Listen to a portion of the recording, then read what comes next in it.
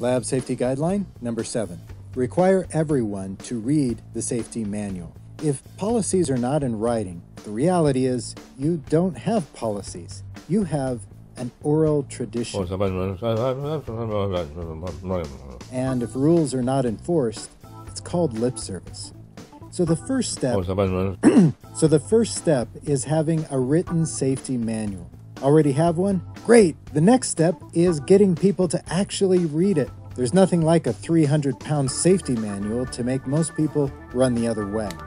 And when you have a lab safety manual that nobody reads, you have a lab safety problem.